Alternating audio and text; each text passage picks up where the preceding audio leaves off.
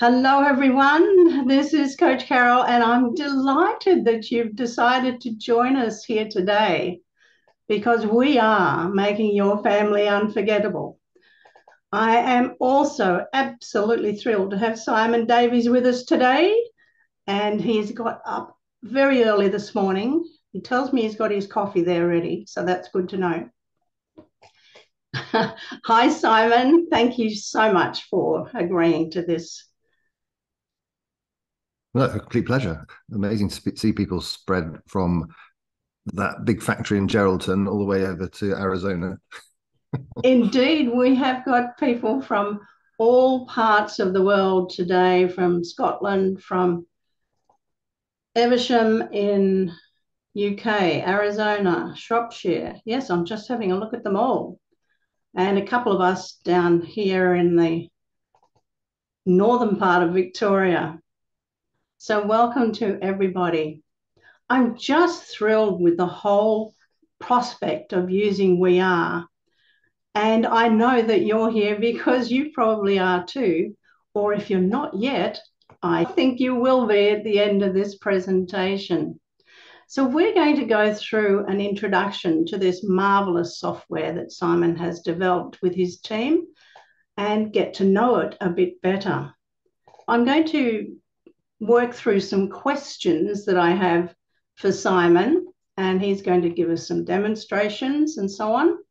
The very first thing that we want to know, Simon, is what is We Are and how is it different to any of the other platforms that we might use for our genealogy? Right. Okay. Short little question there. Those of you who know me, worried now that I'll ramble on for a couple of hours, but I'll keep it tight. The big thing about We Are, or the difference is, I regard this as a family archive. And the objective here, and frankly, it's a selfish project. I, I set out to develop this with some friends because I needed it. And I was trying to do this, share my family history with my family. And what I realized was that we all tend to make a big one-off website or, or a big book and we present it to our family and they go like oh great thank you very much and it kind of sits on the shelf. Whereas what we found as we went it's all an evolution and you guys are giving great feedback which is helping us evolve it continually. If you actually create a space online for your family that's their archive and you get busy in it chipping away doing bits and pieces your family is made aware of it bit by bit by bit. And even the ones that aren't interested interested know they have a family archive that is a part of their family and the system will gradually get to know through the data who's in the family who's coming up in the family and will start to prompt us to make sure that we invite the next generation to be a part of it. It's designed to basically be a place where we can slowly and joyfully work on the bits and pieces release it to our family in the knowledge that over a period of time we will get the best of what we've done if not all of it out into the open with our families and that it will find those people, whether it be this generation, next generation, or the generation after, who want to pick up the threads and really go for it on what we've discovered so far. It's about giving us a space to express our stuff. And then it's about survivability to get to those people down the line who will really appreciate it. Well, that is a great overview. And it really rings true for me as does for many people, because for me, it was an answer to all of my requests that I've been looking for for a long, long time. Somewhere where I can have everything under the same roof. And that has become a little bit of a mantra for people who are following We Are that we've got all the tools we like under this one roof. And so for me, it's become a game changer. And as Simon says, we are preserving the past but we're creating a living interactive archive. I'm just fascinated with all the different facets of We Are and how I'm learning how to use it to share stories about my ancestors. So, Simon, the next question I have for you is one where you could probably share with us your screen, and I'll just make sure that you can share your screen how can we explore we are, maybe for that 30 days you offer? And how can we actually begin with our tree? Okay, let's set about setting up a tree. And first of all, I just want to say hello to Alfred down there because we've exchanged lots of emails and I just a quick wave hello. Okay, so I'm in my archive. And actually, as part of your last question about what our different approach, I'll quickly just make a note of this. I'm in my family's archive.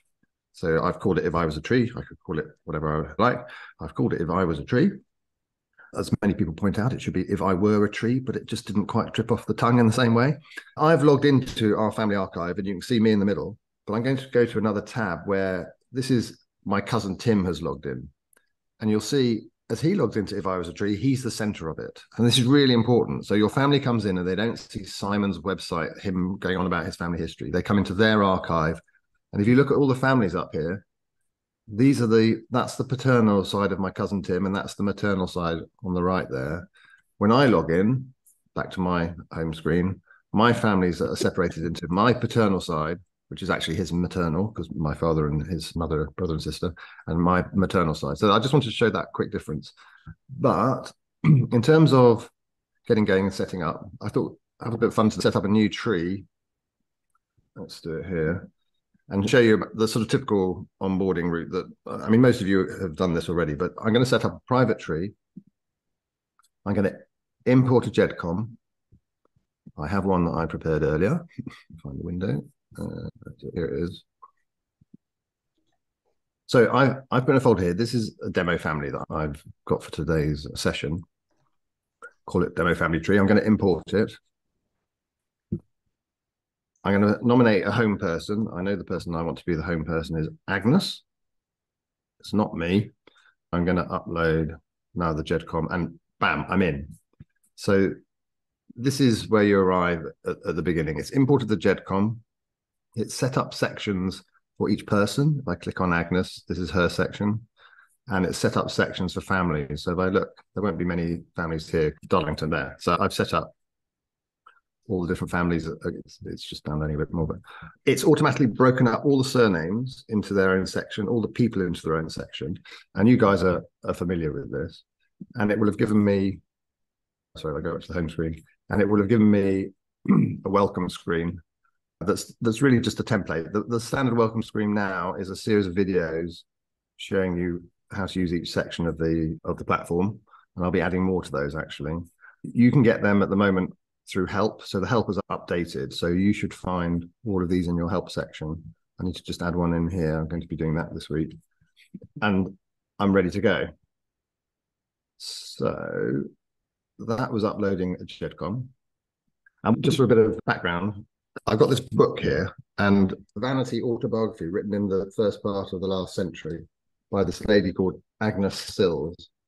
She lived in a big house on the hill near where I grew up and at the, at the time it was occupied by her two bachelor sons in their 80s and we thought they were creepy horrible people. They had this huge sort of garden 20 acres odd which was not touched at all. No gardeners nothing. And we as children used to creep in there and make camps and climb, you know, get up to the back window through the grass commando style etc etc and then about three years ago came across this book. It's this vanity published book by this lady and she goes through her whole life. And she came from quite an aristocratic family. Her father was a uh, friend of the prime minister, and it's all about her times in places like St. Moritz and Egypt. And uh, so I couldn't help but researching her family tree. So I'm going to use her as an example as, as, we build out a story rather than the usual stuff that a lot of you have seen on, on the demo site. But that's how we upload a GEDCOM for those of you who aren't familiar. And I'm just going to go back to share screen. I think you want to go on to the next stage, Carole. I'll hand it back to you. We'll just pause for a second and see if there's any questions that are burning from the audience. And Jenny, if you just let us know if there's anything, or if you're game, just unmute and ask the question in between. Nothing there at the moment, but I'm just wondering whether everybody knows what a GEDCOM is. Is that something that everybody knows? Well, that's a good point. Simon will explain. So, well, for those who don't know what a GEDCOM is, sorry, that's an assumption. We have the Mormons to thank for GEDCOMs, actually. When you create a tree, the data structure that defines the relationships between people puts us in family units and it shows how we're interconnected. Any family tree software basically uses this data standard called GEDCOM, and you can download your family tree from any platform as a GEDCOM file and upload it to any platform as a GEDCOM file. So obviously that makes it incredibly powerful and useful to set out the basics of family tree structure. The, re- the reason we have the Mormons to thank for it is that one thing that generally happens with technology and things like data standards is that competing companies try and mess with them and vary them and to give themselves competitive advantage. I mean, just think about plugs on phones and computers and how they change, you know, like USB changes from one to another. The thing about the GEDCOM standard is because the Mormons are a charitable body trying to build up this database of people in the world, they've ensured that no one changes and varies it. So it sticks as a standard, which makes it incredibly powerful for people like us.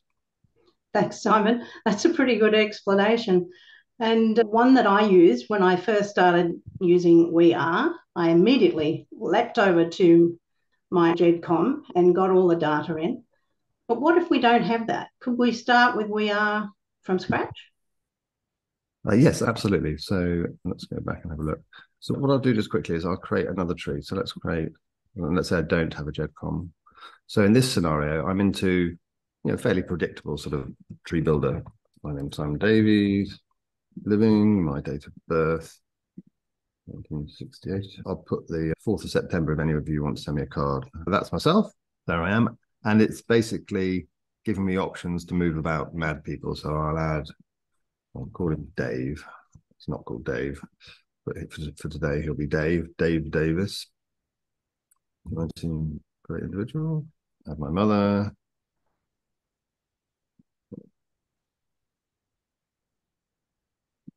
So on and so forth. So you can see I'm starting to set people up and I keep going. But the moment I say done, I need to give the tree a name. We have this rather kooky little name generator, but just for fun, but you probably want to change it. I'm not going to call it Speedy Agile Couscous. Let's just call it Davies. And there you can see I've started. And mm. anytime I want to extend the tree, I can either go tree edit and start adding people like that, or I can open a person. And you, you're probably familiar with, I can have add father, add mother up here. All the relationships are on the right. If, if, on an individual's page, if I go to this edit top right, I can amend all sorts of relationships. So remain now. I'm in. So if I go to my grandfather, male, William Davies, deceased, back in 1894, and he sadly left us back in 1981 save individual. So those are the two ways of adding people. So that's starting a, a, tree from scratch. I'll go back to the demo one though, which is a bit more interesting. Okay. So just a couple of questions coming in. Mm-hmm. Is there anything specific about the construction and specifications of the GEDCOM? Uh, Marlene's had some errors importing. The GEDCOM is a very old standard, uh, quite quirky, and it has lots of nuances depending on which software platform you export it from. So it can literally create some different ways of train the same thing. One or two of them have glitches in how they output data. So, for example, RootsMagic has a glitch in some of the notes output. And every now and again, we come across a glitch. We see these from time to time, and then we do workarounds in specific cases. So, if you ever come across an issue with the GEDCOM you've exported, just let us know, and then we go in and investigate and make a sort of workaround to stop it messing up Alfred just wants to know how fully can we uh, handle all the free text notes and structured citations, occupations, etc., the exported files. So we intend to be able to handle it fully. So we're working on it literally at the moment. That we have all the citation fields, etc., etc., all ready to expose them. So as we work on exposing all the bits of information in it, they will start to appear. The interesting thing about sources and citations is that there are two approaches, and different platforms output them in a slightly different sequence in terms of citation page and all that sort of stuff. But we are absolutely doing that. Uh, That's great to know. And from me, Simon, I just wanted to ask you to reiterate the fact that the demo family tree that you've built is always available for us. Yes, is that right? Yes, do remember that. This is the demo that I'm building now. But if you go to your trees menu at the top right there, you can always go back to what is actually my family, except at my great grandfather's level, and have a good nosy around, you'll be able to see the art of everything that's possible in there. About my family, should you be so inspired? Well, yes, because that was a great way to understand what We Are does for us by seeing everything that you'd already put in place, especially the way you've handled the stories. But can you go on now to explore a little more about the interactivity, the type of archiving that you've got for us? What I thought I'd do is take this demo tree we've got here and start adding some images to it. For me, the first thing to do is get some color into the tree because it's factual, it's already a bit gray. And one of the things that we are is about exposing all the stories and the rich media and all of that good stuff that brings it to life much more for our families rather than just a tree. We can start by, let's go, Agnes. Let's add a picture first from that book that I showed you earlier. We have a load of pictures. Let's go plus adding images. So I've just go a bit slower. Top left here, add image. You've got a little indicator there, but if you click anywhere in that space, it'll then pull up this dialog, which is for importing images, specifically in this case, a profile image, just to make that process a bit smoother. Here's Agnes. I'm going to drag her over there into that box. It automatically tags her surname and her first name. I'll explain about that 1752 in a minute because I know that has confused some people. I go upload. It's mm-hmm. going to offer me the opportunity to crop it because remember it's going to go onto the tree. And you see now immediately it's her profile section. Her section rather has a profile picture at top left, and I've started to populate the tree. If I go to her husband, let's just quickly rattle along and add him. Drag him over. See, it's got his surname, his name automatically tagged. Up he goes. Let's just his handsome face. There he is. He was a lecturer at Cambridge University in history, apparently.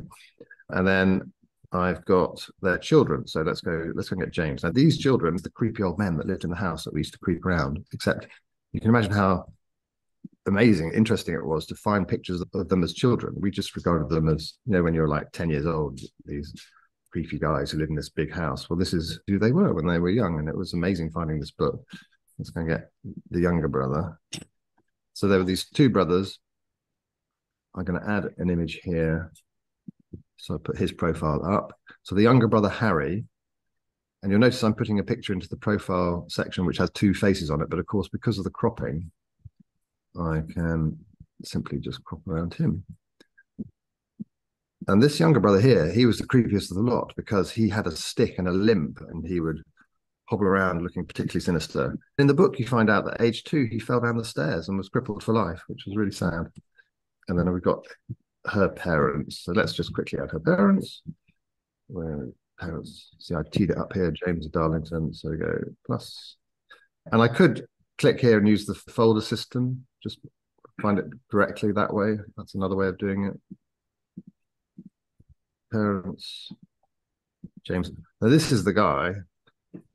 He, you see again, it's automatically tagged he was incredibly wealthy because he owned huge tracts of coal seams up in north of England around Sheffield. So that was the source of his wealth. And as a result, he nobbed with all sorts of people around the world and sent his daughter suffered from bad asthma. And for the winter, he'd send her to St. For the entire winter. and then in the summer, he'd send her to Egypt. And she has these amazing adventures that she went on. So you can see that the tree is just starting to look a bit more lively.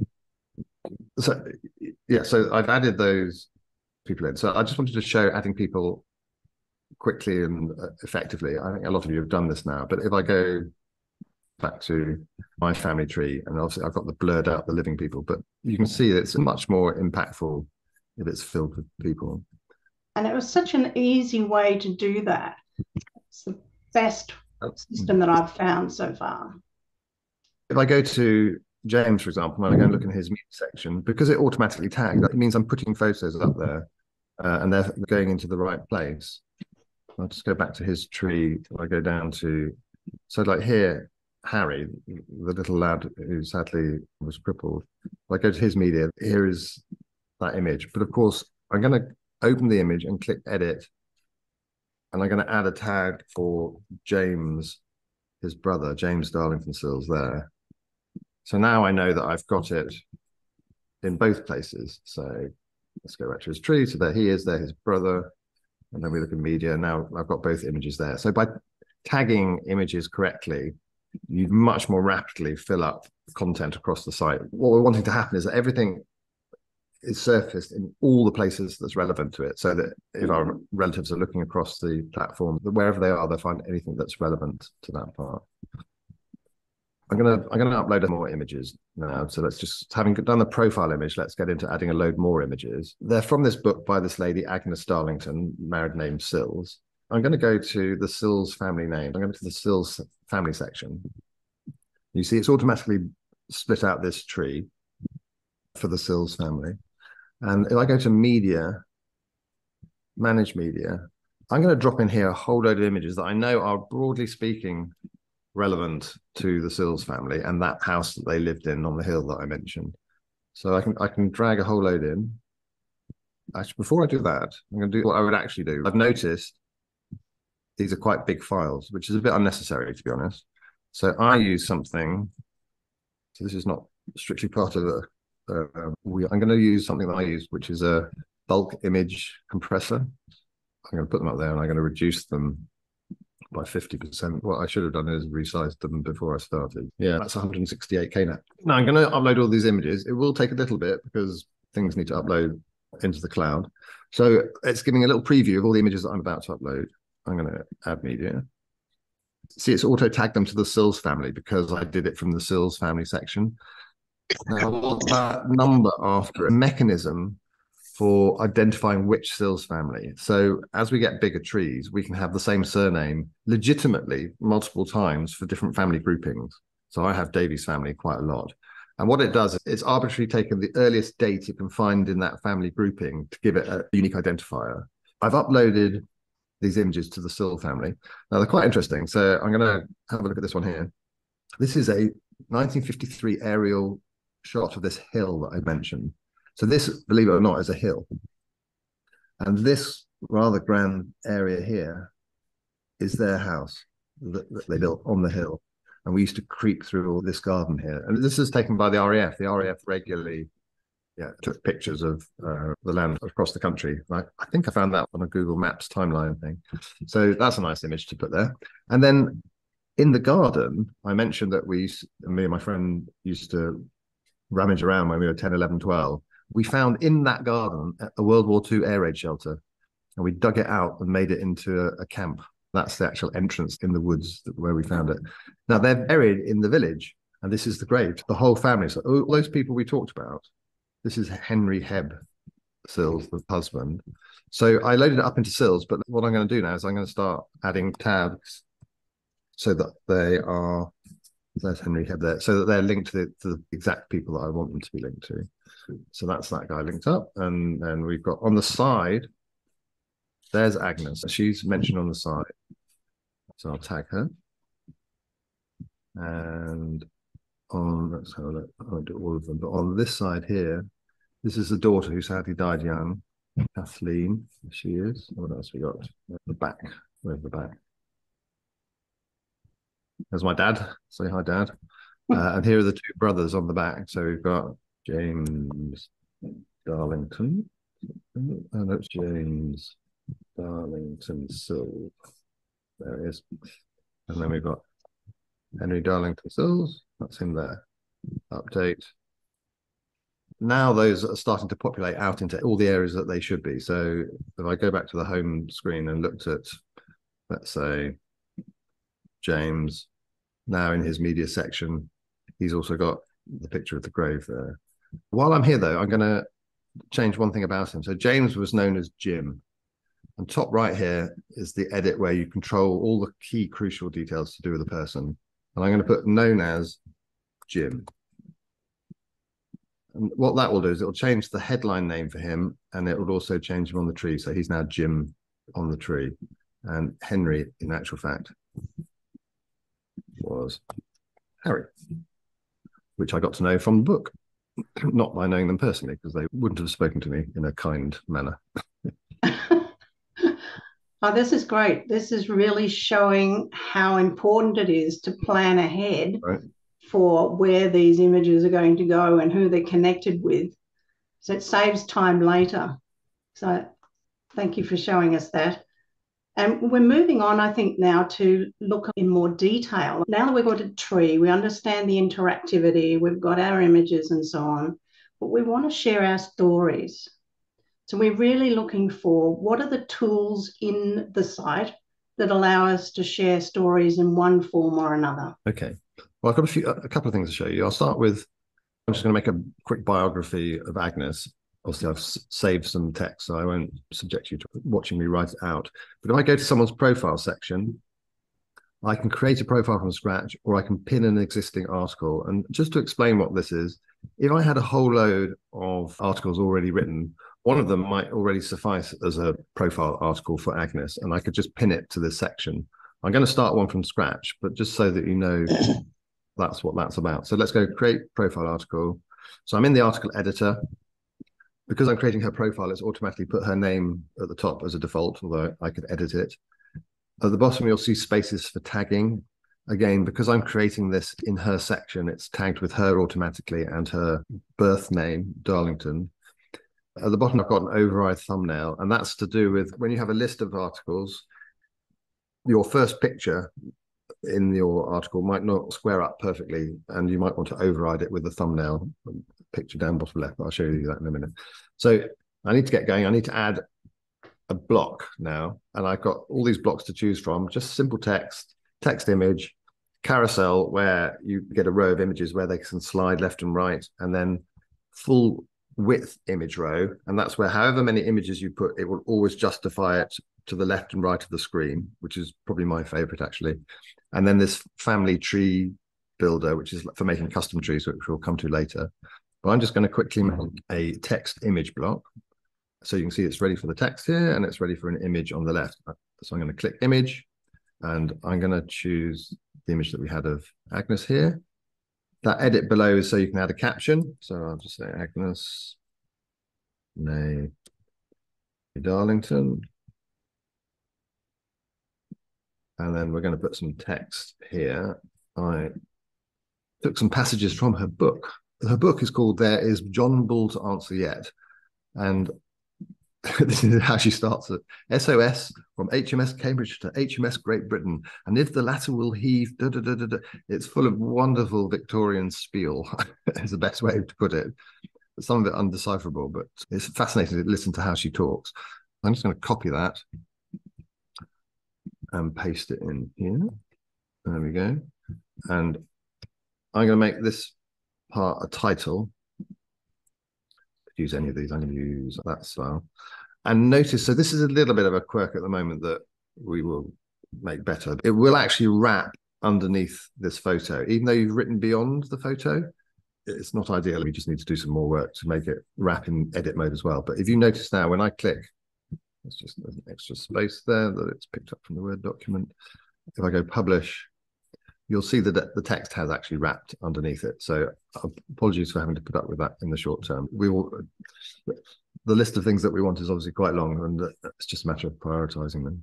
So I don't know if any of you found if you grab that bar down the middle there, you can change the size of the image, which is useful for various reasons. One, if you want to try and match with the length of text you've got, if I got rid of all of that text there, and I have in mind that I want to keep it in line.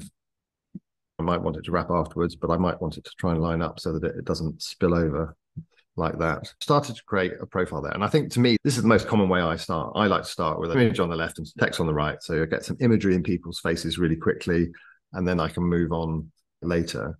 That's a biography I've shown you. It does become just a straightforward article. So it exists as an article in its own right.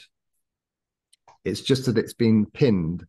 And, and by the way, the tags at the top here in the article are active. I can go from any tag I see to any section, click on that tag, and it takes me to Agnes. Here's the profile image we talked about. And you can see it's pinned or unpinned. It's pinned to her profile. I created it there, but it is actually just a pinned article. I can unpin it and it still exists in the list of just general articles that are tagged to her. If I go back to profile, I can now go pin and existing And there it is as one of the articles on the system. So I just go pin existing and I've pinned it there. So it's a little bit subtle, I know, but that's what the pinning is about. Uh, okay, so I'm going to come out of, uh, of this tree and I'm going to go and show you writing a more extensive article elsewhere, all to do with a four times great grandfather. Oh, actually, it's over in this tree. I'm over in this tree over here. This is the one where I've logged in as my cousin. This is actually not our live servers. This is our staging servers, but it allows me to play with some existing data that I've bookmarked up here, I think. Yes, there. So I don't know if any of you have used bookmarks, but when I'm working on a particular area, a family or a person or whatever, I use the, I'll open my grandfather here. You'll see that little bookmark icon there. If I click bookmark, he's now added up into the bookmarks, which is a really useful way of getting back to where I'm working quickly. So I'm going to go to James Ariel here he is, and here's his family. And I've set this all up so that I can sort of do a relatively quick but rich demo. Okay, so I'm in this article. I'm going to create this article under James Ariel. Now, James Ariel was my four times great grandfather, I think. And yeah, here we are. So he, I discovered very recently, this was a bit of very recent research. He is was a watchmaker. And in fact, I'm going to create a space to write a piece about him, but I'm also going to immediately below here put well, it's a carousel block. I'm going to make it into full width block. You see this menu. I'm in the carousel block here, top left menu. I'm going to convert that to a full width. Whatever image goes in here or images will go to the full width of the screen. And I'm going to put in these three fabulous images I found. I load up one image, tag to James. And then I'm going to load up the second image. You see it's gone full width, which obviously, if I was just using this image, I wouldn't do that because it's too big. But as I add more images and the ratio of the combined ratio becomes more landscape, shall we say, it'll start to spread out. And then I've got one more. I'm clicking the little plus sign. As I as I move the mount the cursor over the image, it changes. You see those little plus I can put it in between. But I, if I click that one, it would actually go in between the two images. I've got one final image, and it goes. And there, though I found these online just by searching. I think they were on some auction. I can't find them anymore, but they're signed James Ariel. So these are watches that he made, and he was active from 1793 to 1828, I think it was. So I'm adding in those images. I think I've got some article text up here. Oh, here we go. Yeah. So I was I was basically laying it out so that I could do this quickly for you guys. I put in Word what I'm going to do. Here's an image here. I don't think I'd save that. Uh, save picture as uh, watch. I think I'd failed to have enough folder article. Okay, so now I've got that image. So I, I'm going to go and that was the image there. So I'm going to drag that in. So this is from the Pigot's Trade Journal for 1822, I think it is. But that shows him, James Ariel. And that's where I found out he lived at 10 Wilderness Row. That's fine. So I'm going to take the first bunch of text I got here. I'm going to paste it in. So this is a bit of text that talks about James, and, and, it's introducing the fact that I live in London, and I desperately wanted to have find ancestors in London. And it took me a long time, but eventually I found this ancestor in London. I was very thrilled, and it turned out to be a, walk around the corner from my daughter's school, and it's next to a place called the Charterhouse, and the Charterhouse is this old, huge Tudor home, but origin- originally it was a Carthusian monastery apparently Charterhouse means Carthusian, not a Carthusian monastery. But Henry VIII, of course, dissolved it, and it then became a Tudor home to one of the Howard family. You remember the Howard family? Catherine Howard was married to Henry VIII and had her head chopped off. And this particular Howard who lived there, he was imprisoned there under home arrest for 10 years because Elizabeth suspected him of plotting with Mary, Queen, Queen of Scots, which he did. They found out because there was a note hidden under a doormat with a code on it that showed that he was guilty and had, had his head chopped off. He made good use of the time before he lost his head to build out this wonderful place, the Charterhouse. And my ancestors' home and watch place was immediately opposite the Charterhouse, so therefore it becomes of interest to me. And what I want to show you here is this is the Wikipedia page. I'm going to copy the URL at the top there. I've just highlighted it and gone Control C.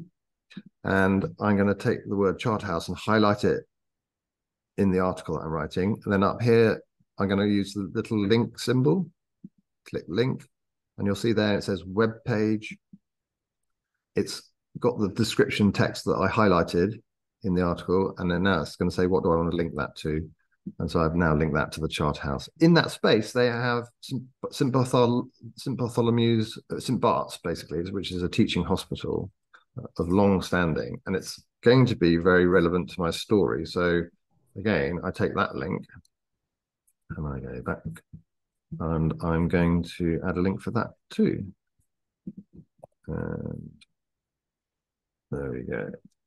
So I'm starting to build that story. There's some more information I've put here about the chart house. It was originally a Black Death pit as well. That obviously makes it quite interesting.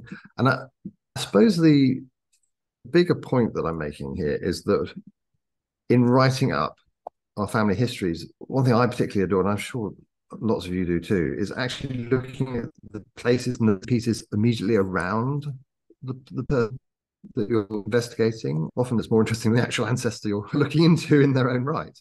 But just bringing to his story to life by describing what's around him. So he lives in Wilderness Row, he makes watches, and I'm going to put in here another image.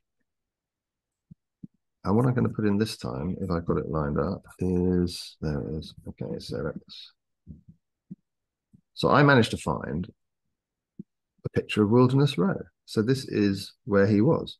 Okay, so he was in Wilderness Row. One of he's one of those, and he's making these watches in one of those buildings, and he's living opposite this this place here, the Carthusian monastery, and Oh, I can put it up again. Just trying to remember what images I've got. I'm going to go and add an image. You can build columns of images. I'm going to add one below here and drag in this picture of the chart house. So there it is. That's the chart house itself. That drawing is in the lifetime of my four times great grandfather, which is uh, interesting to uh, note. I think I've got some more text to add in below here. Yes. So the thing that I was rather tickled to find out about Let's put some of that up there, just working on my spacing.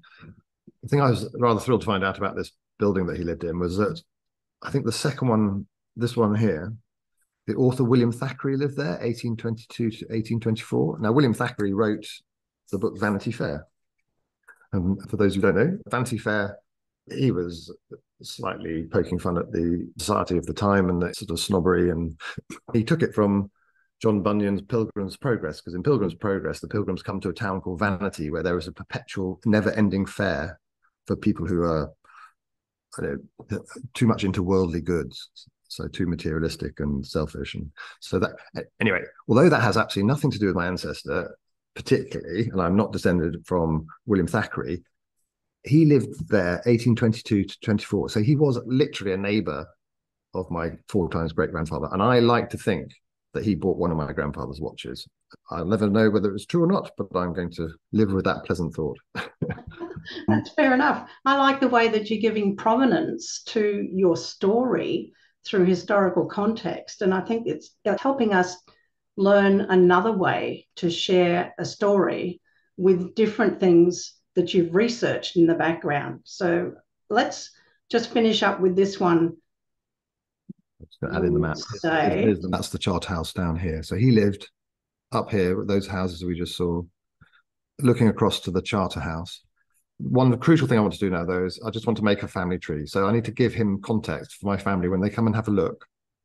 I'm going to create what we call a subtree. So you can pick people, anyone in your family tree. I'm going to choose just the children. I'm not going to go into the spouses. And then I'm going to create the subtree. Now, that then sits within your article and it gives a context for all the people involved and it directly links through to their section. So if I'd been writing more about each individual, well, I'll just publish it so that we can see, and then I'll open it. Oh, I didn't give it a title, did I? James Emily. Let's just do that for now. Yeah, so here, so this is in the actual article, and if I click James there, I'll go through to James. So, then I'll go into research recollections again. That's where the article is. So those are live. And this was one of the key reasons for wanting to make the platform in the first place. To me, it was all about how do I make family section trees, individual trees, and these subtrees as an indexing background to these articles and photos and videos and everything else that I had that I felt you just don't find anywhere. And this was a crucial part of what we wanted to do.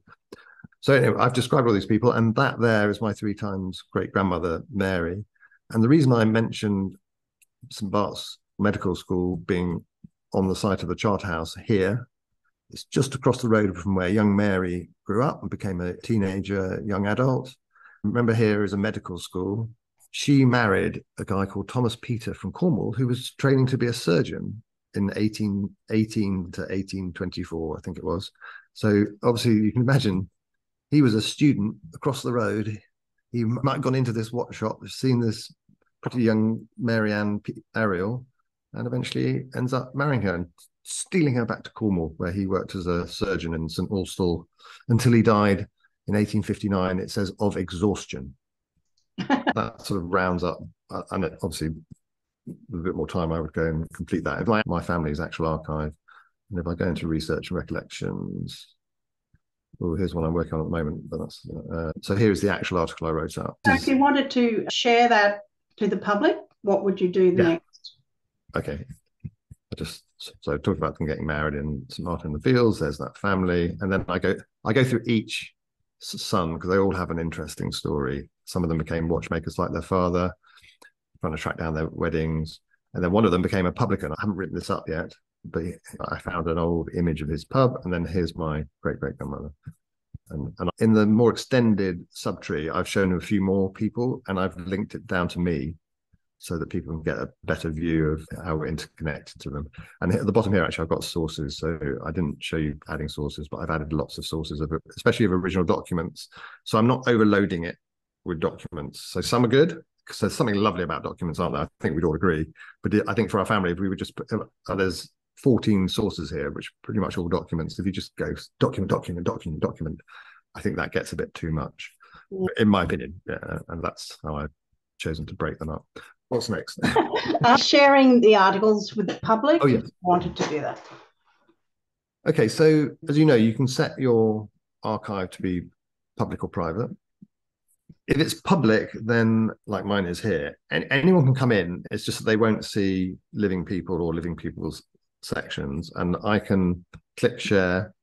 So at the top of every article and photo, etc., there's there's a share button. I can copy the link. I can make an embed link for bloggers.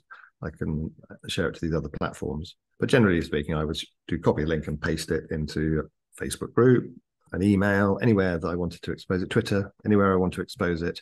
And if you put it on social media, for example, it will it will generate a preview image from the first image in the story. So in this case, this one here. So it's worth remembering which image it's going to pick up when you share it. If your tree is private, you can still share. And this came from many of you who said, I do want to share actually, because uh, if it's a piece of history, I'm not so sensitive about that one thing. I want to be able to make my choice to override and share one piece. The difference will be that where if someone accesses this article, say, if it's private, then none of the links will work back into the archive. Whereas if it's public and it's not going to someone living, the links will still get you back into the archive. I want to allow people in and they can go and have a, a rummage around and other people don't. And that, that's simply a choice. So that's the ethos behind sharing. You can see here, there's a button here where I could actually decide to make this article private anyway. So I'm public. If there's something specifically I want to be private, I will set it as private within that public context. And I, probably the best example there is if I go to occasions. So myself and my family, we put a lot of current stuff that's going on because it's a continuation of the family's archive. It's really the family's repository for their lives, as well as those that have gone before us. So this was a holiday that some of you I've shown to already, but with my son, where he wanted to go on a camper van holiday ever since he was little. And we went to Barcelona and we hired a camper van, drove up the coast. There he is in, in the camper van, had, had a great time. And I have, it's going to edit. You can see there, I, it's private. I've set it to private. So yep. I don't want that one. Oh, sorry, it's up the top here anyway. The, I don't want people to see that one versus that story about James Ariel, who was alive in you know 1793 when Marie Antoinette had her head chopped off. I think that's far enough back that he, he won't get upset with me. Fair enough.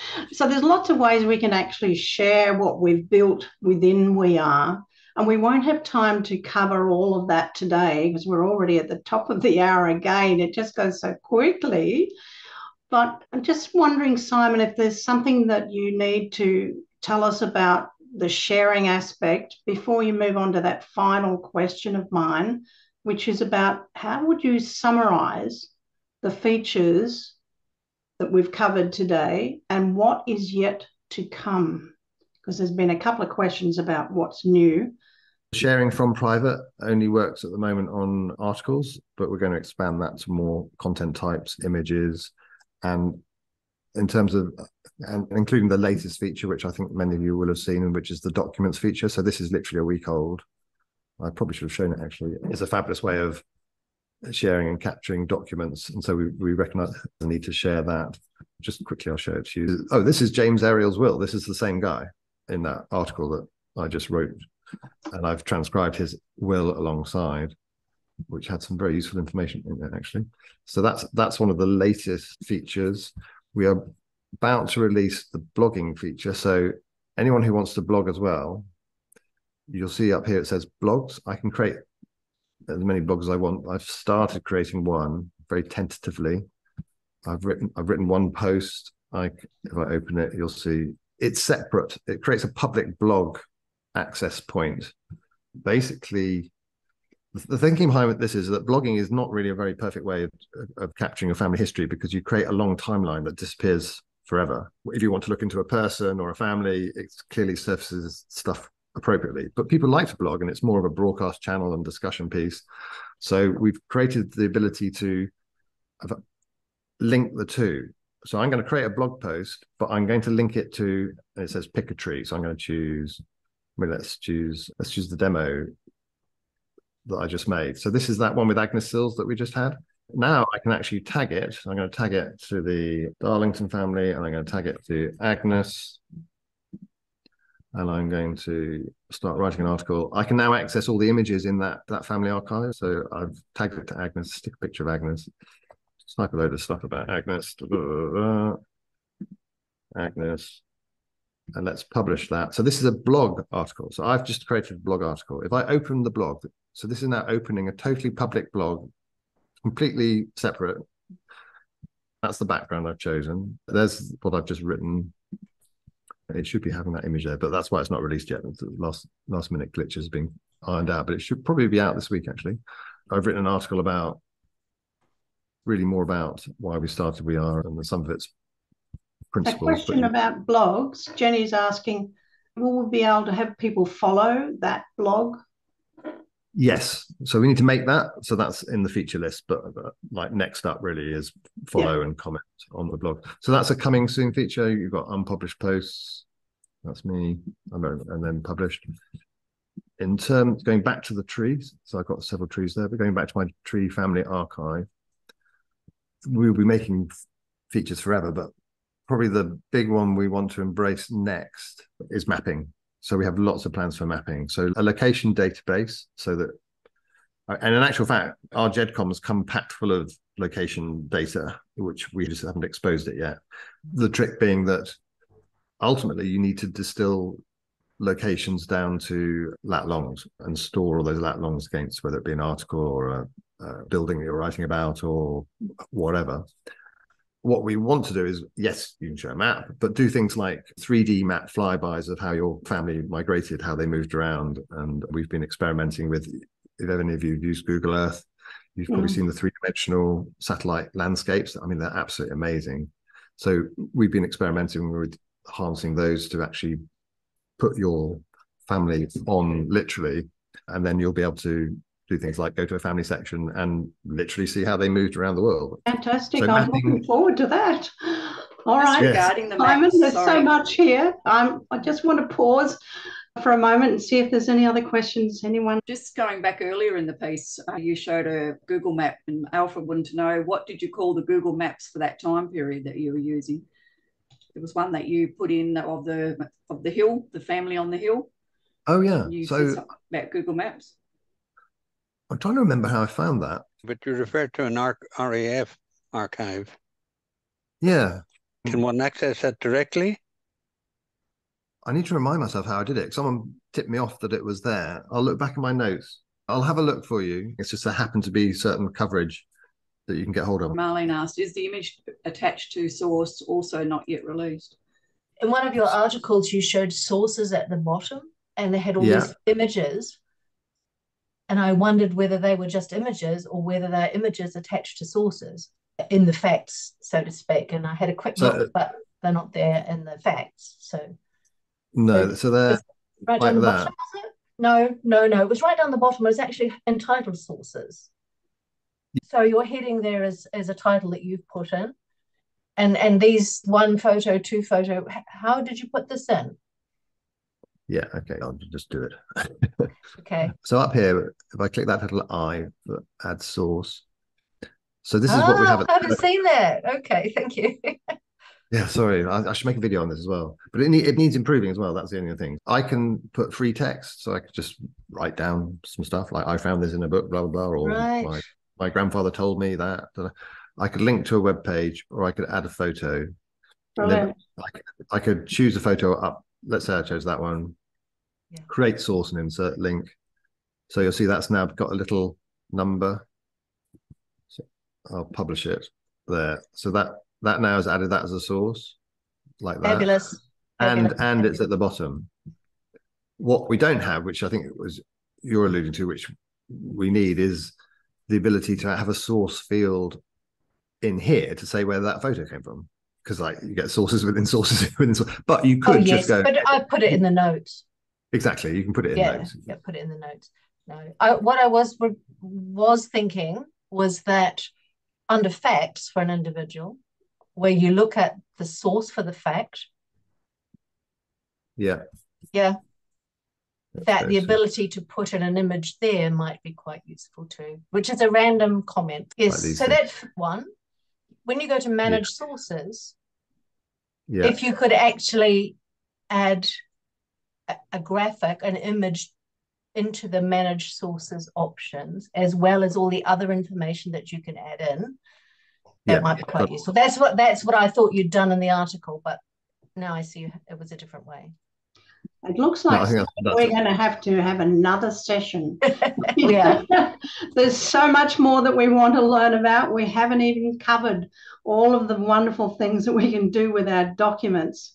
So I just want to draw things to a close and point you to the chat again, where I've put in place a link that you can go and join. If you're not yet a member of the We Are Facebook group, go over to the chat and have a look for the link there. And the recording for this session will be on YouTube in both Simon's channel and mine. The links for those are there as well. I just want to find out now and sing out, just unmute and give Simon a round of applause a real round of applause for a wonderful session today. Thank you so much, Simon. I'm embarrassed. Thank you. Oh. Thank you. Thank you. Thank you. quick question, because we've got this blog coming. I mean, do people blog, want to blog? Do people want to blog? We do, we do indeed. Yeah, we want to, people follow we We're running in parallel the ability to create embeds because lots of people have blogs so that mm. you can mm. embed stuff from your archive into an existing blog because it's bit, we don't expect people to like abandon blogs they've been running for a long time but it did seem that a majority of us in family history think of at least think about blogging but well, when it comes out eh, feel free to give me feedback on it that'd be feedback is so priceless and yeah loads of the faces i can see here are so generous with their feedback i'm looking for the ai generator Ah, the AI generator. You, you hinted well, actually, at it there a few times. well, that's what that's what I mean. I, I, won't do it now, but that's what that's what that article here was. I was setting up to do a video. I on... could see see it on the side there. I was waiting for someone else to ask. Let's not go there today. This is the subject of a whole oh, other session. I'm going to make a demo video of the AI stuff. Other webinars We've been in touch with the Society of Australian Genealogists, and they're going to be contacting Simon to get him on board with one of theirs. So there's another one to look forward to. Oh, but God, I would love to bring Simon back in a couple of months' time and do another of these. But I think at this point in time, you know, really wonderful session. We've learned so much in that hour. And if you've got any comments for Simon, add them to the text chat. If you want to save the text chat, go into the three dots at the bottom where you can find all the stuff about the chat and you'll find save chat. Anything else that I've forgotten, Jenny, Simon? No, I don't think so. Excellent. All right. So, Simon, your final word, and then I'm going to stop the recording. Uh, well, just thank you, and keep please do share stuff you do into the Facebook group because it's really encouraging for people around us to see what other people are doing, and it makes it much more of a sort of shared experience. And this is a journey. You know, we're constantly evolving and doing this, and there's been so much input. When you see what people are doing, it's so encouraging. And you know, the things that don't quite work, it's brilliant that you point those out so that we can smooth over the cracks. So, just generally, it's really great getting I love this whole topic, this area, because you come into touch with so many interesting people who are very generous. So thank you very much, everyone. Well, thank you. And thank you. we will indeed be sharing it widely. And we are on the journey with you and we'll stay with you, Simon. Thank you, everybody, for taking your time today and joining us for this webinar. We hope there'll be more. Thank you again.